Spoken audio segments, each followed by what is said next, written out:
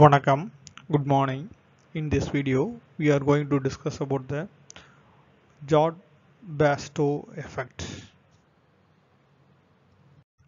Jod Basedow effect was described by the German physician Karl Adolf von Basedow. This is the iodine-induced hyperthyroidism. So in the Jod Basedow disease, iodine-induced hyperthyroidism.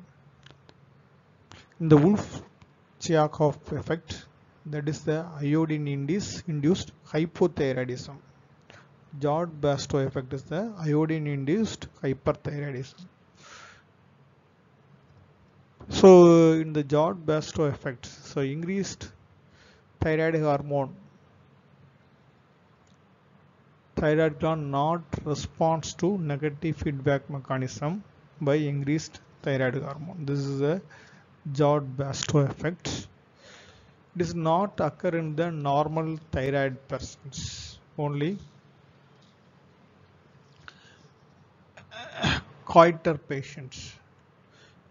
So enlarged thyroid gland patients only we can see the Jod Basedow effect the Wolff-Chaikoff effect it may it may can occur in the normal thyroid patients normal uh, normal persons and thyroid patients.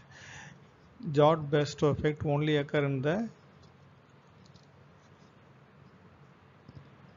thyroid patients.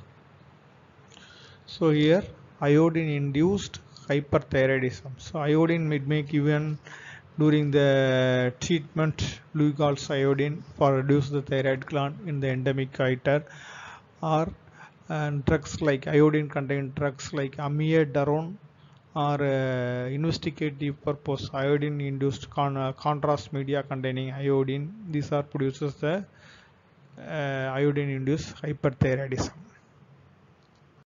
Thank you for watching this video. If you like this video, press the like button and share your friends. Those who are not subscribed this channel, please subscribe. These videos briefly discuss the physiology topics. You must read the physiology textbooks. Thank you once again.